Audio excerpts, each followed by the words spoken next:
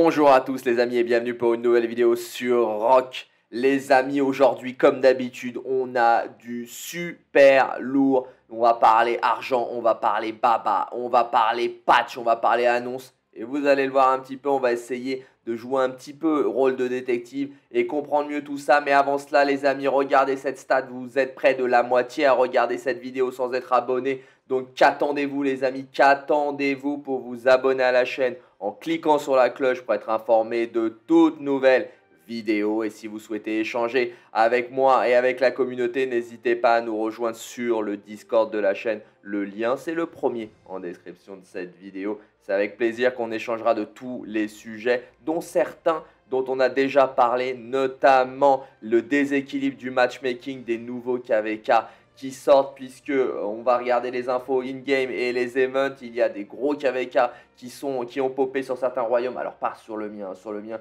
calme plat, c'est la mort, il n'y a rien à faire. Mais certains se plaignent du déséquilibre une nouvelle fois du matchmaking, notamment face au serveur 1846. Certains disent que ce KVK a un matchmaking discutable et on en discutait d'ailleurs sur le Discord hier. Donc n'hésitez pas à venir nous rejoindre au niveau des events in-game et des annonces. On a eu une annonce hier, mais malheureusement pas l'annonce promise par Baba. Alors je vous le rappelle, hein, euh, Baba nous avait dit que c'était la semaine dernière que l'élite devait nous faire un retour sur le patch. Alors, nouvelle en chinois oblige, pas de nouvelles cette semaine, c'est promis, c'est pour cette semaine. Il reste deux jours au moment où vous verrez cette vidéo, un peu plus de deux jours. On va voir si on aura une annonce cette semaine. La seule annonce qu'on a pour le moment, si je vais dans favori, puisque je l'ai mis en favori, c'est une annonce qu'on connaît déjà, le patch du 8 mars, le fameux patch de la migration. Qu'est-ce qui va se passer sur ce patch? Eh bien, pour la roue de la chance et le plus grand gouverneur seront synchronisés sur tous les royaumes ayant déjà fait un KVK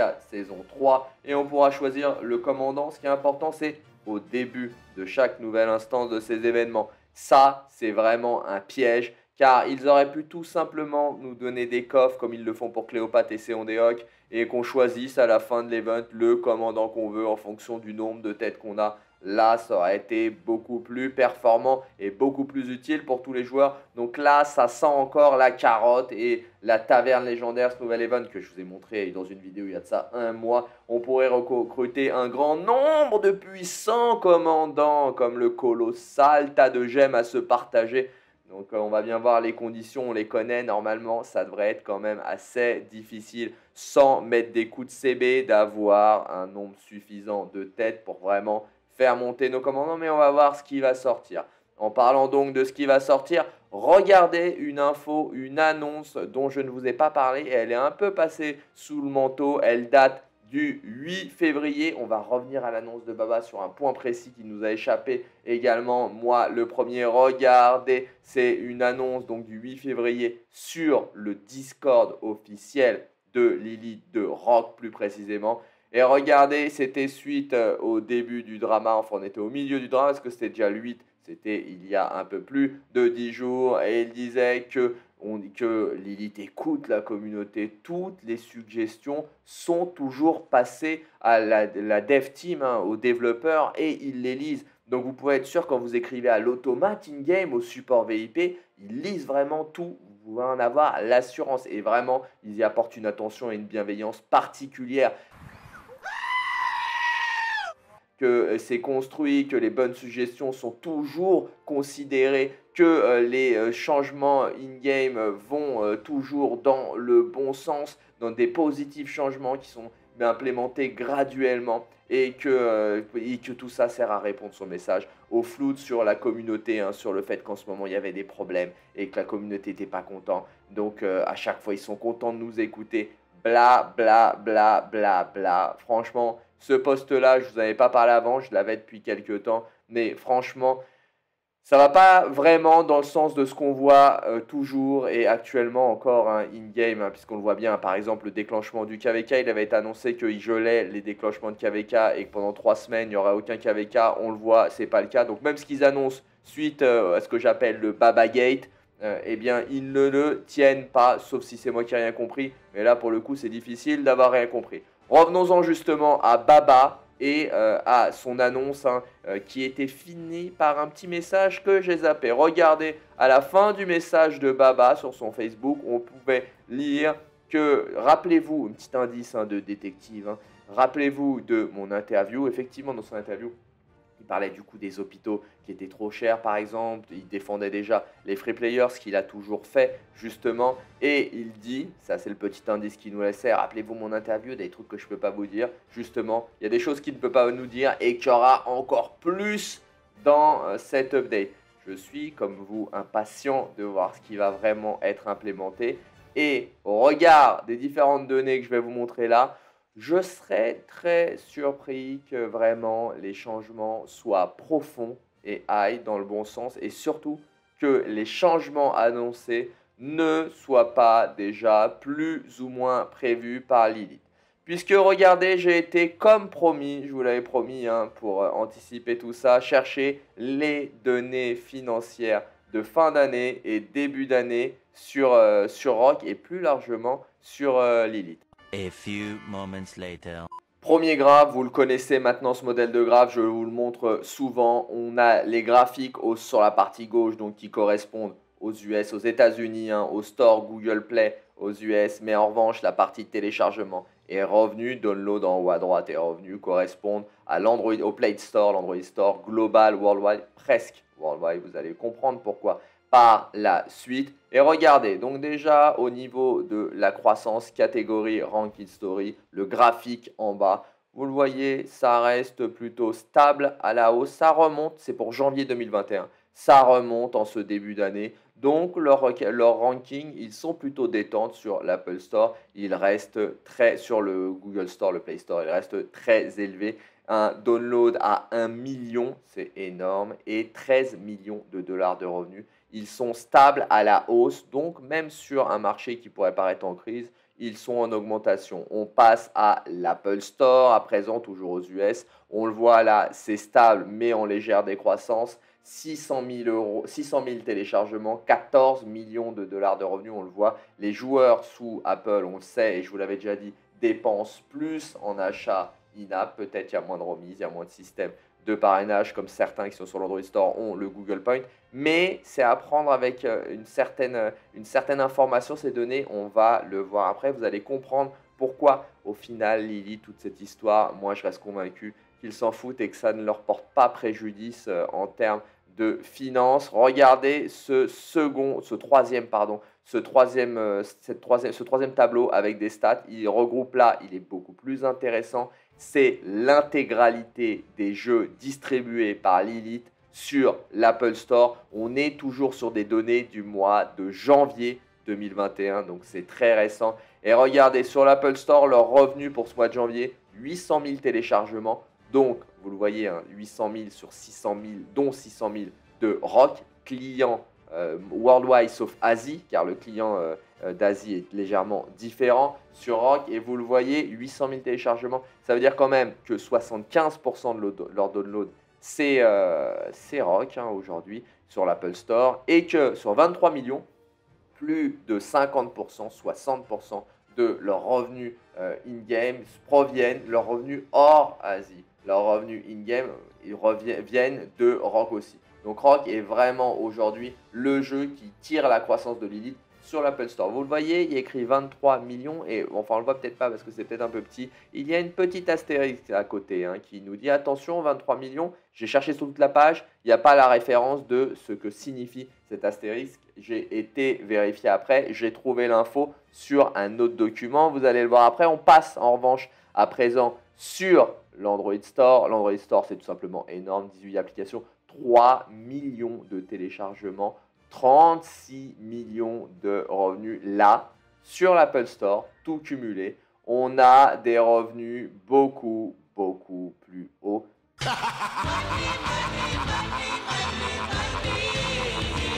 Donc, euh, et euh, seulement euh, Lilith Rock ne représente que un peu plus d'un tiers de tout cela. C'est encore une fois Rogue qui tire la croissance sur l'Android Store pour Lilith. Donc vraiment un jeu crucial et stratégique pour la croissance de leur entreprise. C'est pour ça qu'ils ne vont pas lâcher l'affaire comme ça. Et c'est pour ça qu'ils ne vont pas arrêter d'encaisser et que la petite crise existentielle qui est menée par, euh, par l'Europe et, euh, les États-Unis notamment, va pas vraiment changer grand-chose à mon avis. J'espère me tromper. Pourquoi je vous dis tout ça? Si on regarde des données vraiment qui sont des données très parlantes, encore une fois, des données de classement, regardez, on est encore une fois là sur décembre 2020, j'ai janvier 2021, vous allez comprendre pourquoi ces données sont à prendre avec des pincettes et pourquoi je, suis, je reste prudent et relativement sceptique sur le fait que les mises à jour qui vont être appliquées, à mon avis, étaient déjà prévues. Même s'ils nous rajoutent une nouvelle civilisation, c'est évident que les devs étaient déjà en train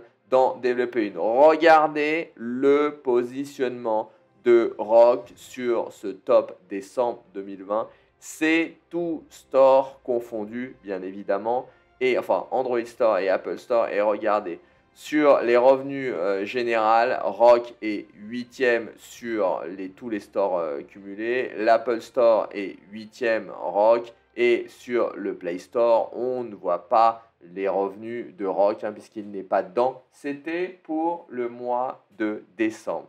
Je vous montre le mois de janvier à présent. Regardez le mois de janvier. Même si les revenus ont augmenté de Lilith, eh bien, ils ne sont plus dans le store car il y a eu des grosses entrées euh, comme euh, Genshin's Impact en ce mois de janvier qui a fait 153 millions euh, de dollars juste en un mois. Ils ne sont pas sur l'overall, ils ne sont pas en App Store et ils ne sont toujours pas bien évidemment en Google Play Store. Donc là, Rock est sorti de ce top 10 général, mais pourtant ses revenus ont augmenté de manière générale.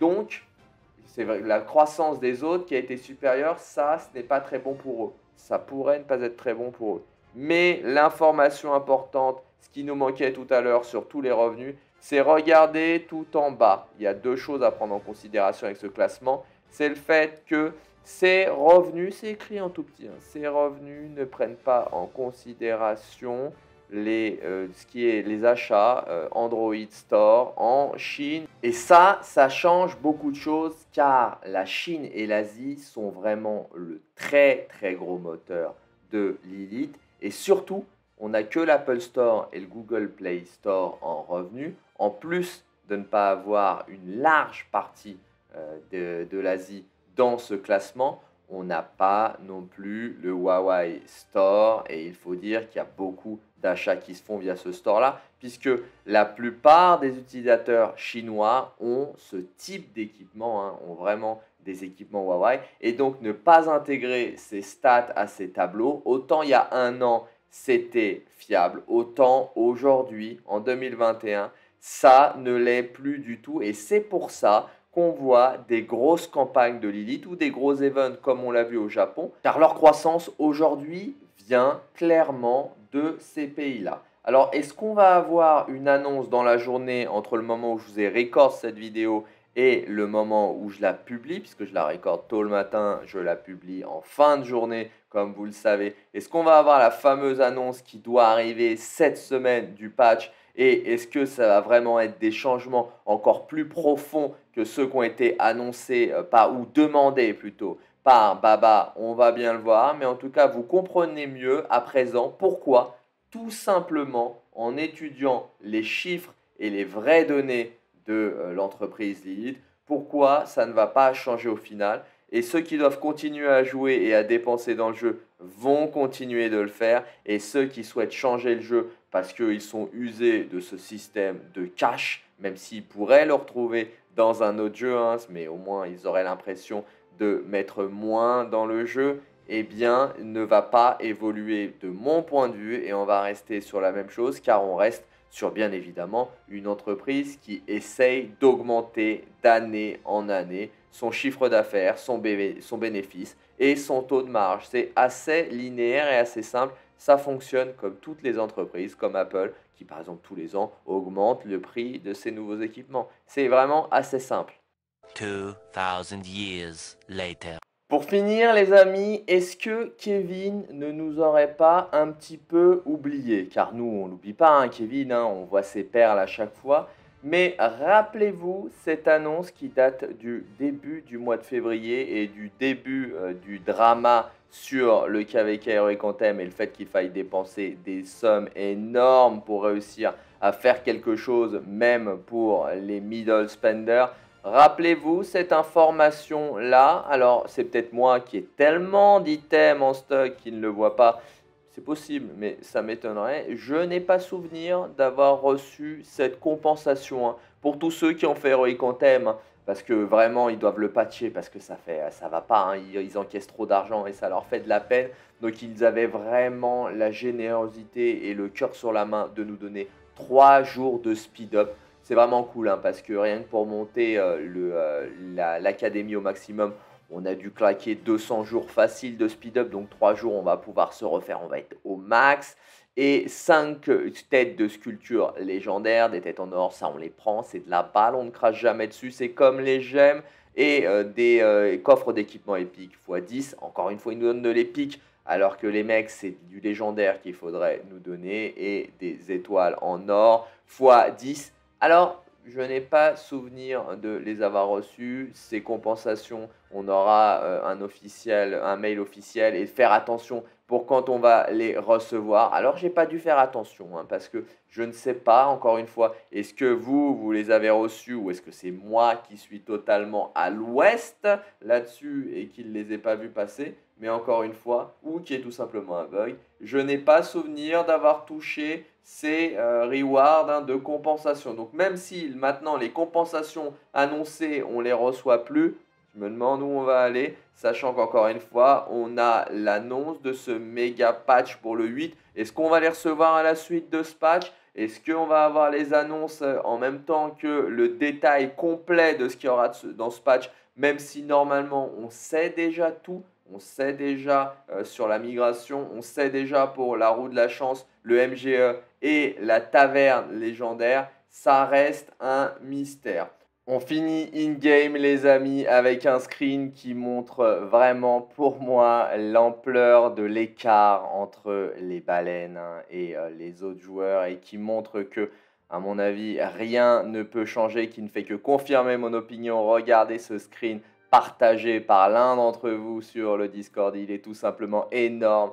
Un joueur qui demande à Martel. Hein. Donc déjà, c'est un joueur qui a accès à Martel. Donc forcément, c'est un trait d'une très grosse baleine. Hein. Seules les très grosses baleines ont accès à Martel et les premières grosses baleines qui plus est. Et regardez, sur le, le KVK Heroic Anthem et sûrement aussi sur la lutte des 8, on est dans l'obligation d'enlever la brume. C'est très long, c'est laborieux. Et franchement, c'est ultra relou, mais c'est comme ça. Quand euh, on veut avancer, il faut investir du temps dans un jeu. Et regardez, il demande donc à Martel si on peut avoir euh, un petit que, euh, parce que ça comprend trop de temps hein, de le faire à la main. Est-ce qu'on peut avoir un petit bundle qui nous aiderait à enlever la brume? Alors celle-là, elle est quand même énorme. C'est, c'est, c'est, je ne m'attendais pas à ce qu'un joueur demande ça, mais au final, c'est pas étonnant. Hein. Quand vous avez une CB illimitée, vous pouvez vous permettre de demander